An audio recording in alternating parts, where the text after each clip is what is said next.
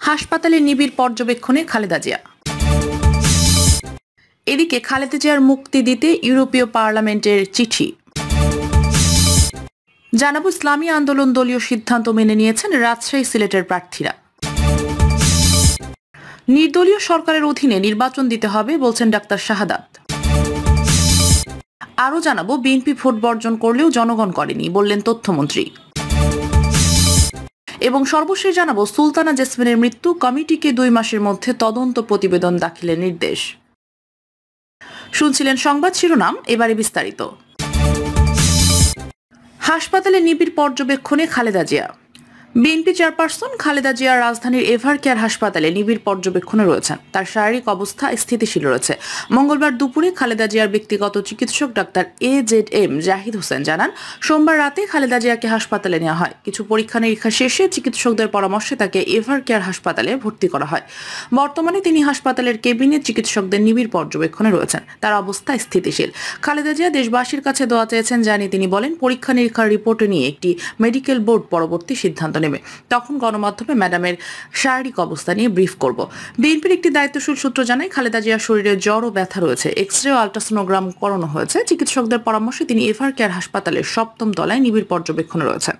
সূত্র জানায়, সোমবার মধ্যরাতে খালেদা জিয়ার অসুস্থতার খবর পান বিএনপি নেতারা। রাত বারোটায় তার গুলশানের বাসভবন ফিরোজায় যান অধ্যাপক doctor A Z M Zahid Hossain. রাত একটা বিশ মিনিটে ছোট ভাই শামীম ইস্কান্দারের কালো রঙের একটি গাড়িতে করে হাসপাতালের উদ্দেশ্যে বাসা থেকে রওনা দেন বিএনপি চেয়ারপারসন। ওই গাড়িতে শামীম ইস্কান্দারের স্ত্রী কানিস ফাতেমাও ছিলেন। রাত একটা চল্লিশ মিনিটে এভার কেয়ার হাসপাতালে পৌঁছান, এরপর কিছু পরীক্ষা শেষে তাকে হাসপাতালে ভর্তি করা হয়। এর আগে হাসপাতালে গত সাতাশ ফেব্রুয়ারি চিকিৎসা শেষে বাসায় ফেরেন বিএনপি চেয়ারপারসন ও সাবেক প্রধানমন্ত্রী খালেদা জিয়া। ইসলামী আন্দোলন দলীয় সিদ্ধান্ত মেনে নিয়েছেন রাজশাহী সিলেটের প্রার্থীরা।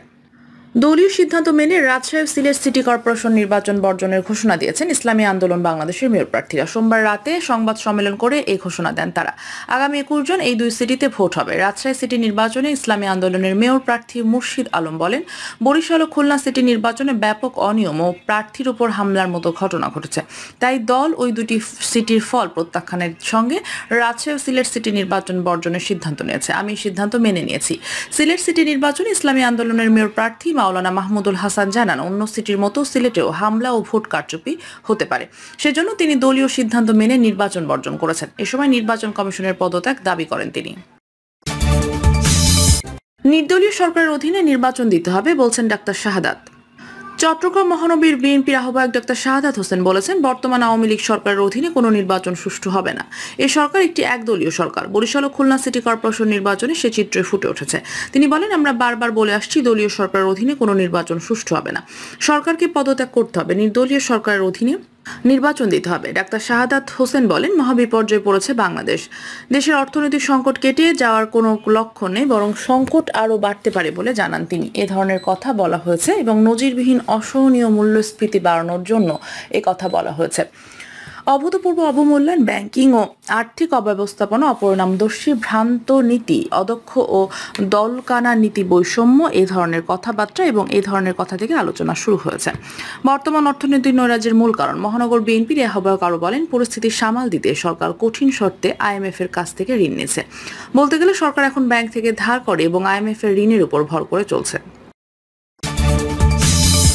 খালেদা জিয়ার মুক্তি দিতে ইউরোপীয় পার্লামেন্টের চিঠি। আরও বলা হয়, হেফাজতে নির্যাতন এবং অন্যান্য দুর্ব্যবহারের অভিযোগগুলো প্রায়শই সংযুক্ত ছিল বাংলাদেশের র্যাপিড অ্যাকশন ব্যাটালিয়ান, র্যাব বিষয়। অপব্যবহার শুধু সরকারের রাজনৈতিক বিরোধীদের ক্ষেত্রে সীমাবদ্ধ ছিল না, বরং জাতিগত ও ধর্মীয় সংখ্যালঘু এবং বাংলাদেশের সংখ্যালঘু খ্রিস্টান জনগোষ্ঠীর ক্ষেত্রেও একই রকম ছিল। গত এক দশকে বিচার বহির্ভূত মৃত্যুদণ্ড এবং জোরপূর্বক গুমের উচ্চহার, জাতিসংঘের মানবাধিকার বিষয়ক ইউএন কমিটি এগেইনস্ট টর্চার সহ জাতীয় এবং আন্তর্জাতিক ক্ষেত্রে উদ্বেগ অব্যাহত রেখেছে। বাংলাদেশ সফরকালে জাতিসংঘের মানবাধিকার বিষয়ক হাই কমিশনের অনুমোদনের জন্য সরকারের প্রতি আহ্বান জানিয়েছে বলপূর্বক গুম থেকে সব ব্যক্তির সুরক্ষার জন্য। উপরোক্ত বর্ণনার পরিপ্রেক্ষিতে আমরা ইইউ নেতৃত্বের পুনরাবৃত্তি করতে চাই। বিশ্বজুড়ে কূটনীতি, আইনের শাসন এবং মানবাধিকার বিষয় এবং এর ফলে আমরা বিশ্বাস করি ইইউ বাংলাদেশের জনগণের পাশে দাঁড়ানোর জোরালো কারণ রয়েছে। কারণ দেশটি আমাদের দীর্ঘ বাণিজ্য উন্নয়ন সহযোগিতার অংশীদার। উল্লেখ্য, জিয়া অরফানেজ ট্রাস্ট মামলায় দুই সালের আট ফেব্রুয়ারি ঢাকার বিশেষ জজ আদালত পাঁচ আল খালেদা জিয়াকে পাঁচ বছরের সশ্রম কারাদণ্ড দেন। এরপর থেকে খালেদা জিয়া নাজিমউদ্দিন রোডের পুরাতন ঢাকা কেন্দ্রীয় কারাগারে রাখা হয়। এরপর খালেদা জিয়ার পক্ষে জামিন আবেদন করা হলে হাইকোর্ট গত বারো মার্চ তাকে চার মাসের অন্তর্বর্তীকালীন জামিন দেন। পরদিনই আপিল বিভাগের চেম্বার জজ আদালত তা স্থগিত চেয়ে আবেদন করেন রাষ্ট্রপক্ষ দুদক। ওই দিন আপিল বিভাগের চেম্বার বিচারপতি হাসান ফয়েজ সিদ্দিকির জামিন আদেশ স্থগিত না করে আবেদন দুটি শুনানির জন্য আপিল বিভাগের পূর্ণাঙ্গ বেঞ্চে পাঠিয়ে দেন। চোদ্দ মার্চ আপিল বিভাগ চার মাসের জামিন দিয়ে হাইকোর্টের দেওয়ার আদেশ আঠারো মার্চ পর্যন্ত স্থগিত করেন। ওই সময়ের মধ্যে দুদক রাষ্ট্রপক্ষকে নিয়মিত আপিলের আবেদন করার নির্দেশ দেন সর্বোচ্চ আদালত। ওই দিন বিকালে খালেদা জিয়াকে হাইকোর্টের দেওয়া জামিনের উপর আপিল বিভাগের স্থগিতাদেশ প্রত্যাহার চেয়ে তার আইনজীবী চেম্বার জজ আদালতে আবেদন করলে তা শুনানির জন্য আপিল বিভাগের পূর্ণাঙ্গ বেঞ্চে পাঠিয়ে দেওয়া হয়। বিএনপি ভোট বর্জন করলেও জনগণ করেনি বললেন তথ্যমন্ত্রী। বরিশাল সিটিতে পঞ্চাশ শতাংশের বেশি এবং খুলনায় পঞ্চাশ শতাংশের কাছাকাছি ভোট কাস্ট হয়েছে, জানিয়ে তথ্য সম্প্রচার মন্ত্রী হাসান মাহমুদ বলেছেন, এই দুই সিটির নির্বাচন প্রমাণ করেছে, বিএনপি ভোট বর্জন করলেও জনগণ ভোট বর্জন করে না। ভবিষ্যতে যদি বিএনপি ভোট বর্জন করে, জনগণ ব্যাপকভাবে আগামী নির্বাচনে অংশগ্রহণ করবে। তথ্যমন্ত্রী বলেন, গতকাল অত্যন্ত শান্তিপূর্ণভাবে ভোট অনুষ্ঠিত হয়েছে। মানুষ নির্বিঘ্নে উৎসব উদযাপনের মধ্য দিয়ে ভোট দিয়েছে। বরিশালে পঞ্চাশ শতাংশের বেশি এবং খুলনায় পঞ্চাশ শতাংশের কাছাকাছি ভোট কাস্ট হয়েছে। এতে প্রমাণিত হয়েছে, বিএনপি ভোট বর্জন করলেও জনগণ ভোট বর্জন করে না। আমার মনে হয় বিএনপির এই ভোট থেকে শিক্ষা নেওয়া প্রয়োজন। তিনি বলেন, বিএনপি ভোট বর্জন করেছে, তাদের ভোটারদের ভোট কেন্দ্র থেকে নিষেধ করেছে। তাদের দলীয় কর্মীদের ভোট অংশগ্রহণ করতে নিষেধ করেছে। কিন্তু দেখা গেছে, এ ধরনের আলোচনায় তাদের আলোচনা ভবিষ্যতেও যদি বিএনপি ভোট বর্জন করে, জনগণ ব্যাপকভাবে আগামী নির্বাচনে অংশগ্রহণ করবে। সাংবাদিকদের পক্ষ থেকে তথ্যমন্ত্রীর কাছে প্রশ্ন রাখা হয়, খুলনা বরিশাল সিটি কর্পোরেশন নির্বাচনে ইসলামী আন্দোলন দ্বিতীয় অবস্থানে রয়েছে। আগামীতে সিলেট ও রাজশাহীতে যে ভোট হবে, তারা সেই ভোট অর্জনের ঘোষণা দিয়েছে। আপনি কি মনে করেন শান্তিপূর্ণ ভোট বর্জনের পিছনে কোনো ইন্ধন বা কারণ আছে? জবাবে তথ্যমন্ত্রী বলেন, ইসলামী আন্দোলন রাজশাহী ও সিলেট সিটি কর্পোরেশন ভোটের বর্জনের ঘোষণা দিয়েছে। দলটি দ্বিতীয় অবস্থানে রয়েছে, কিন্তু যারা বিজয়ী হয়েছে, তারা তাদের চেয়ে প্রায় তিন গুণের কাছাকাছি ভোট পেয়েছেন। এতে তারা বুঝতে পেরেছেন, আগামী দুই নির্বাচনেও তাদের কোনো ভরসা নেই। সেজন্য পরাজয়ের গ্লানি থেকে মুক্তি পাওয়ার জন্য তারা এই ঘোষণা দিয়েছেন। এ সময় বরিশাল সিটি কর্পোরেশন নির্বাচন ইসলামী আন্দোলনের প্রার্থীকে শারীরিকভাবে আঘাত করার বিষয়টির দিকে ইঙ্গিত করেন হাসান মাহমুদ। যারা এটি করছেন না কেন নির্বাচন কমিশন ও প্রশাসন তদন্ত করছে। উপযুক্ত শাস্তির ব্যবস্থা নেওয়া হবে। আমি সংবাদ মাধ্যমে দেখেছি তার মুখে ঘুষি লাগলেও রক্ত বের হয়নি। তবে একজন প্রার্থীকে শারীরিকভাবে আঘাত করা কোনোভাবে সমীচীন নয়। সবকিছু ছাপে অত্যন্ত সুন্দর, শান্তিপূর্ণভাবে ভোট হয়েছে। বিএনপি মহাসচিব মির্জা ফখরুল বলেছেন, বর্তমান সরকার অধীনে সুষ্ঠু ভোট সম্ভব নয়। এ বিষয়ে সাংবাদিকরা প্রশ্ন করলে তথ্যমন্ত্রী বলেন, দেশের সমস্ত পত্রিকায় লিখেছে অত্যন্ত সুষ্ঠু, সুন্দর ভোট হয়েছে। সুস্থ নির্বাচন টেলিভিশন হয়েছেন। তিনি বলেন, আমাদের দেশ ও আশেপাশের দেশের নির্বাচন, বিশেষ করে স্থানীয় সরকার নির্বাচনে অনেক সহিংসতা হয়, অনেক গণ্ডগোল হয়। সেই তুলনায় গতকালের নির্বাচন আমি মনে করি একেবারে একটি মডেল নির্বাচন অনুষ্ঠিত হয়েছে। আইবি টিভি ও ইউটিউবে চ্যানেল সংবাদ সম্মেলনে প্রচার করা হয় এই ধরনের কথা আলোচনা করা হয়েছে। এই কথা সত্যি, কিছু আইপি টিভি বেশিরভাগই অনিবন্ধিত এবং কিছু ইউটিউব চ্যানেল কৌশল অবলম্বন করে সংবাদ প্রচার করেছে। এটি আমাদের নজরে এসেছে। পত্রপত্রিকাও দেখেছি, এটি ব্যাপারে খুব সহসা আইনগত ব্যবস্থা নেওয়া হবে। সুলতানা জেসমিনের মৃত্যু কমিটিকে দুই মাসের মধ্যে তদন্ত প্রতিবেদন দাখিলের নির্দেশ।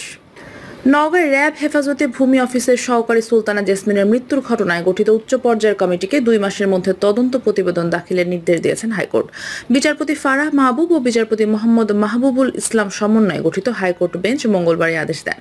শুনানিতে রাষ্ট্রপক্ষের আইনজীবীকে উদ্দেশ্য করে হাইকোর্ট বলেন, দুই মাসের মধ্যে তদন্ত শেষ করতে হবে, এটি সেন্সিটিভ ম্যাটার, বারবার সময় দেওয়া হবে না। আদালতে রাষ্ট্রপক্ষে শুনানি করেন ডেপুটি অ্যাটর্নি জেনারেল সমরেন্দ্রনাথ বিশ্বাস।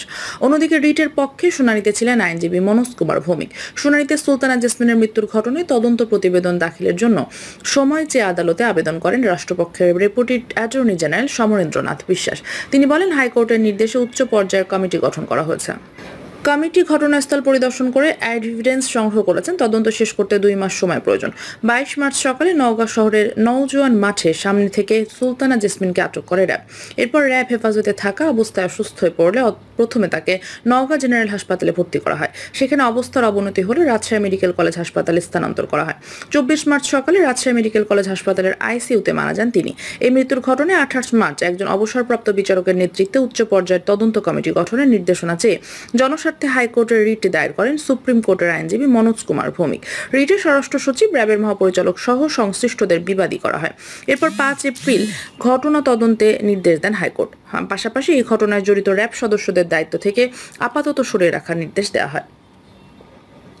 প্রিয় দর্শক এই ছিল এখনকার সর্বশেষ সংবাদ। নিয়মিত আপডেট সব সংবাদ পেতে চ্যানেলটি সাবস্ক্রাইব করে পাশে থাকা বেল বাটনটি ক্লিক করে রাখুন। ধন্যবাদ সবাইকে এতক্ষণ সাথে থাকার জন্য।